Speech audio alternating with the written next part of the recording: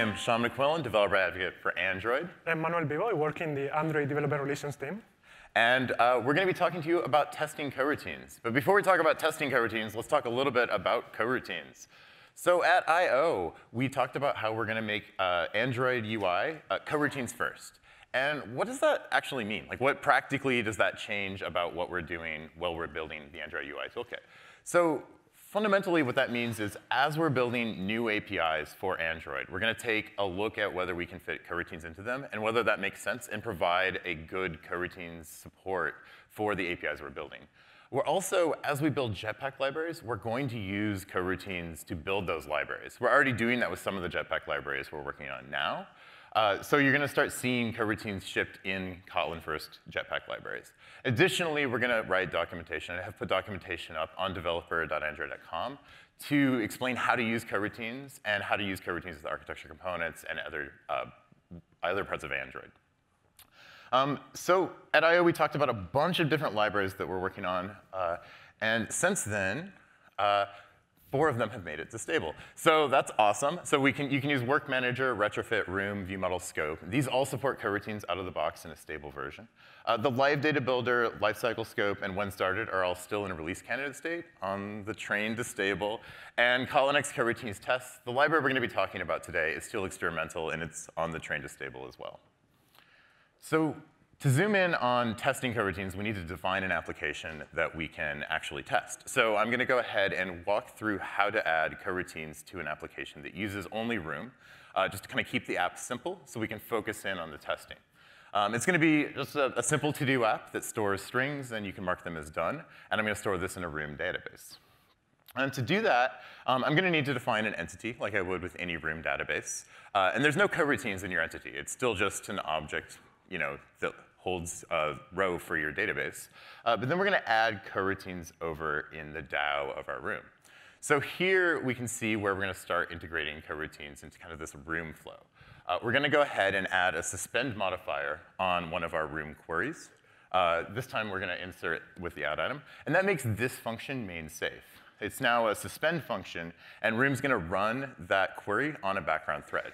And it's going to run that on a custom dispatcher. Uh, it's actually going to be the same executor that Room uses if you use live data.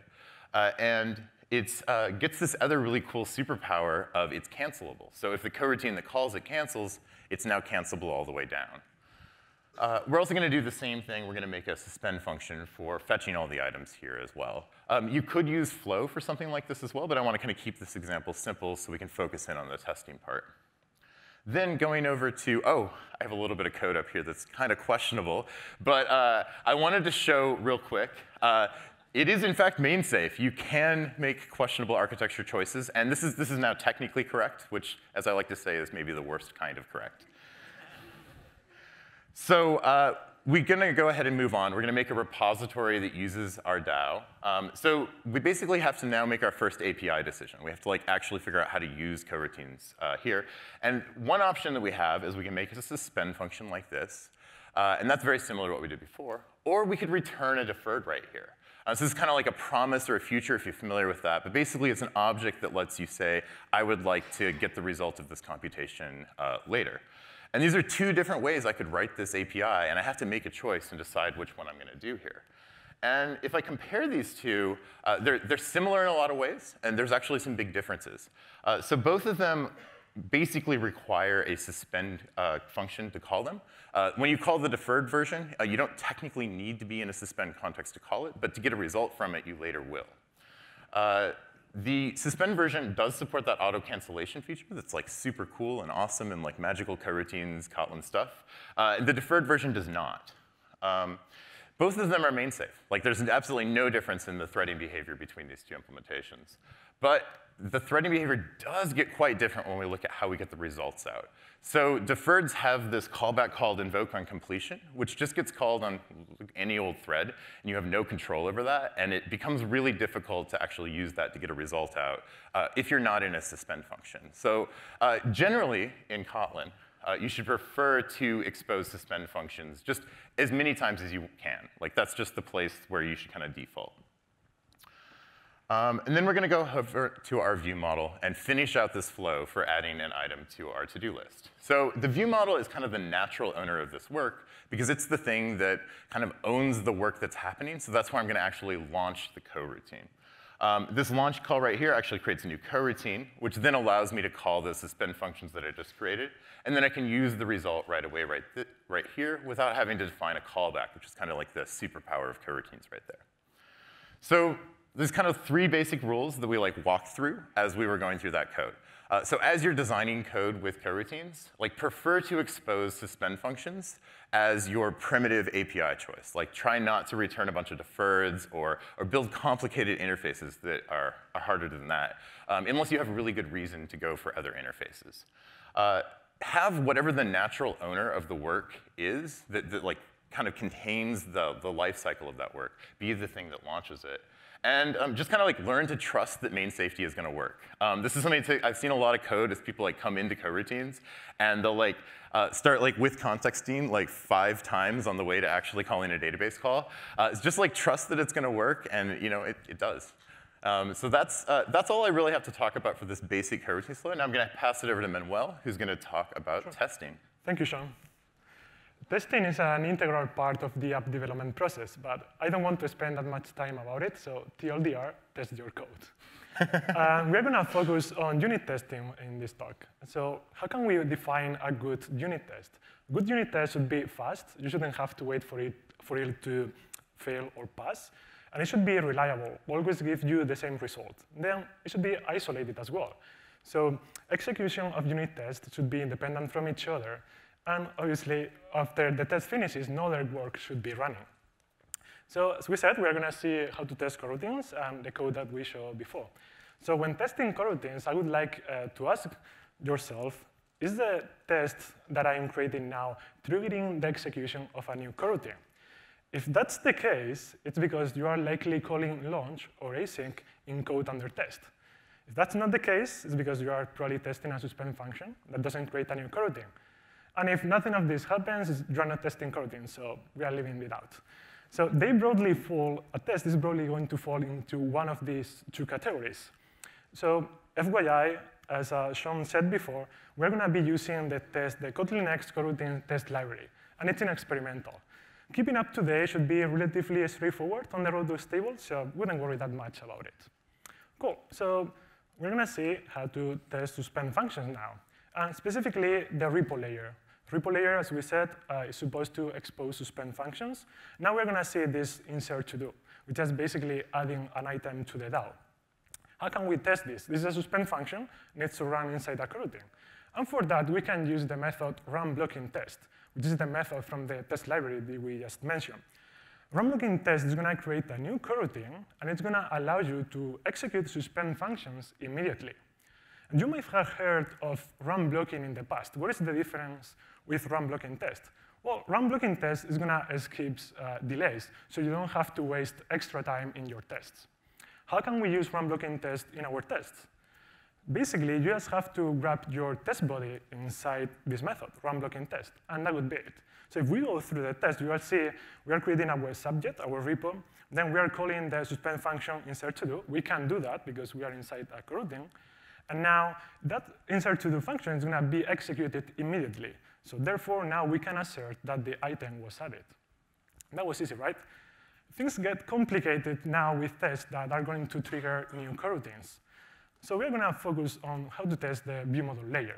So now here we have add item, which is a regular function. It's not a suspend function. That is going to create a new coroutine. This is executed with the view model scope, which actually uses the dispatchers.main uh, as default dispatcher. And here we are just calling, uh, just to simplify everything, calling the repo with a text, something we want to add. Can we use the technique that we just saw before? So just grabbing our test body inside run blocking test. So if you do this, it is going to fail.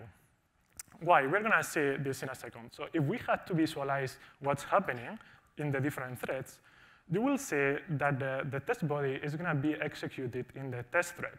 But as soon as you call viewModelScope.launch, that launch, that code is going to execute in a different thread.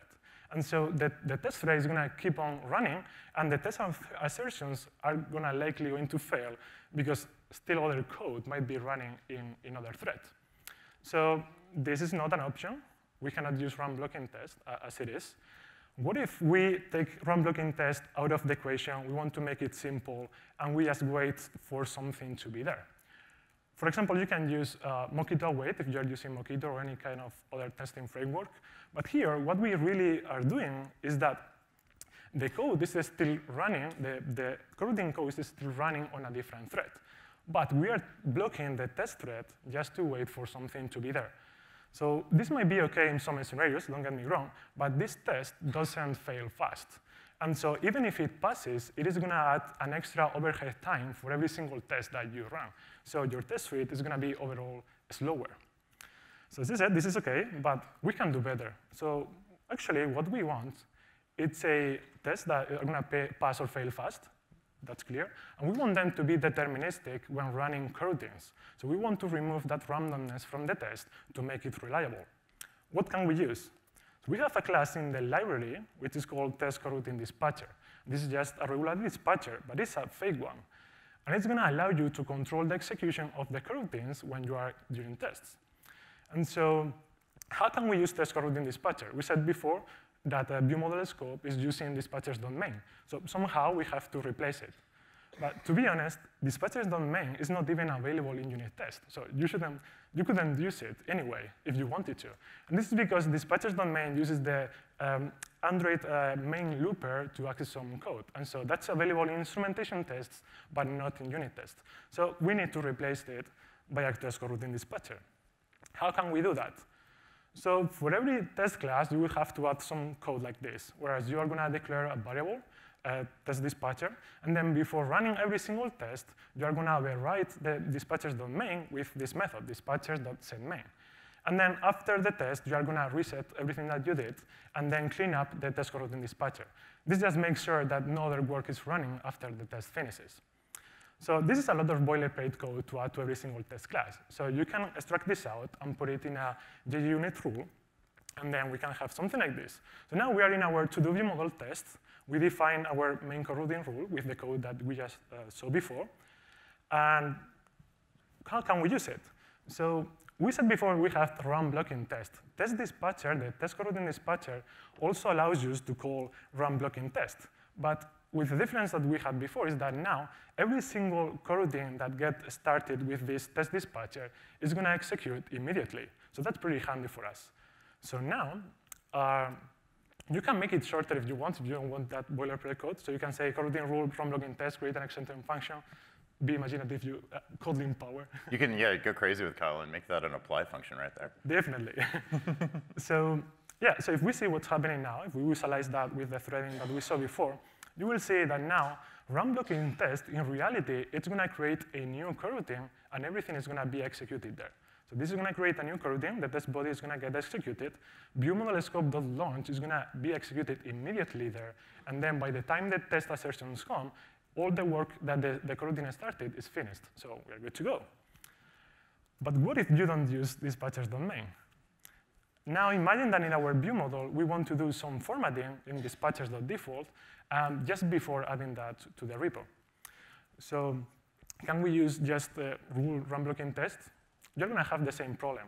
That, that coroutine is going to be executed in a different thread, and so the test assertions are likely go going to fail. And this is because we hard-coded dispatchers.default in the code. And that's not a pretty good practice for testing. So what we recommend is that you should always inject dispatchers.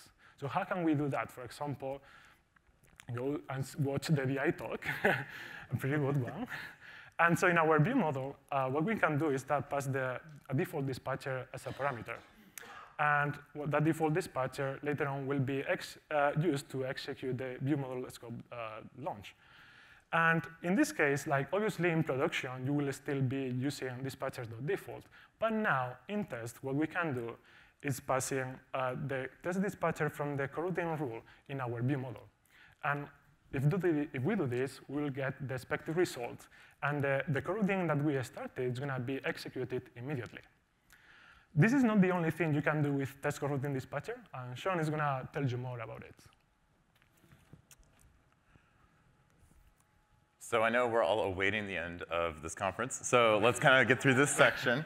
Um, but let's see, let's see kind of these three bullet points that Manuel had earlier, and let's dive into these and talk about some of the features of Test Coroutines Dispatcher and the other parts of the uh, library. Uh, so we started with we want to make tests that run fast. Uh, I mean, who loves waiting for long test suites that take half an hour to run? Is that no, nobody. Oh, whoa, oh, there's a person up there. Yes, one person. We should chat. Um, um, so yeah, so we all want our test suite to run fast. Like milliseconds is awesome, seconds is good, minutes okay. Um, like that's what we're aiming for here. Um, and so the big thing that Test Coroutine Dispatcher kind of helps you with here, and run blocking tests kind of work together on this, uh, is it gives you this delay and timeout uh, behavior. Uh, so this lets you basically auto-progress time as uh, from your test uh, in the coroutines context. So if there's like a delay or a timeout in your test, you can trigger that immediately or instantly in your test execution instead of having to actually wait a second or five seconds for that timeout to happen.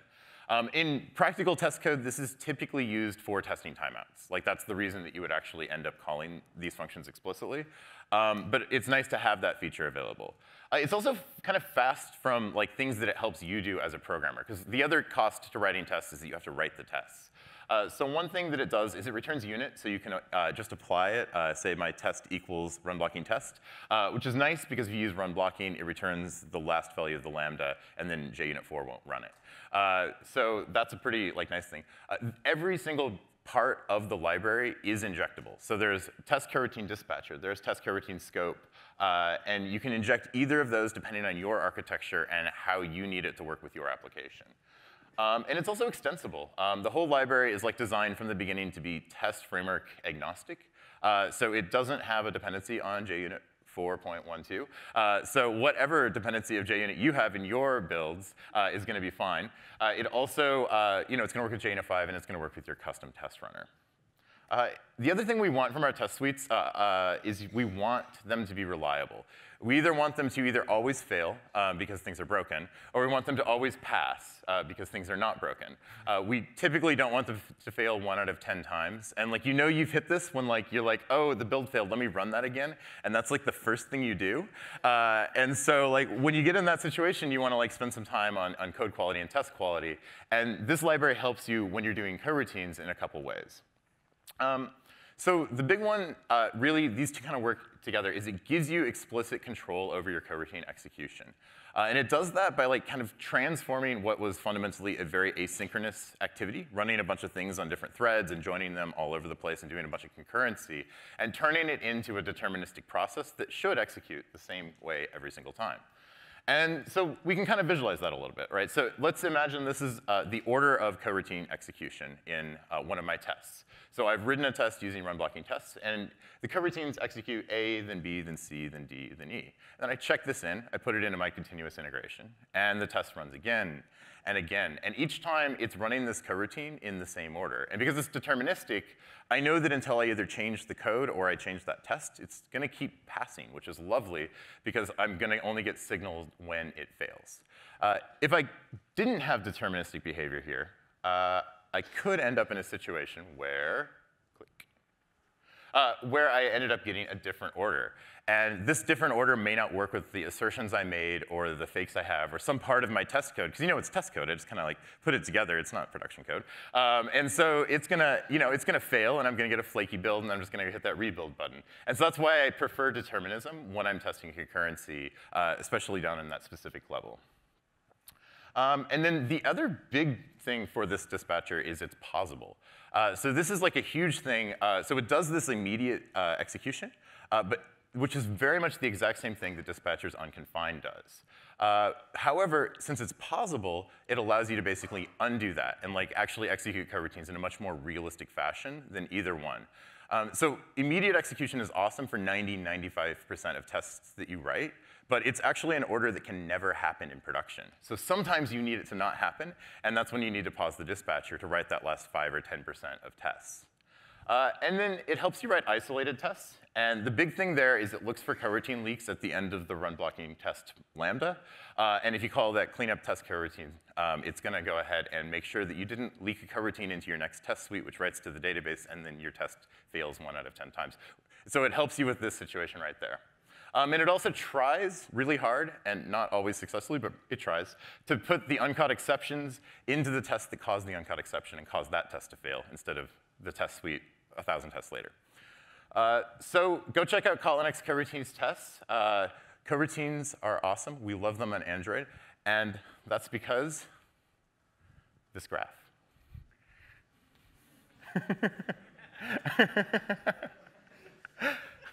as you can clearly see on this graph, as you go into more complex code, the axis goes up.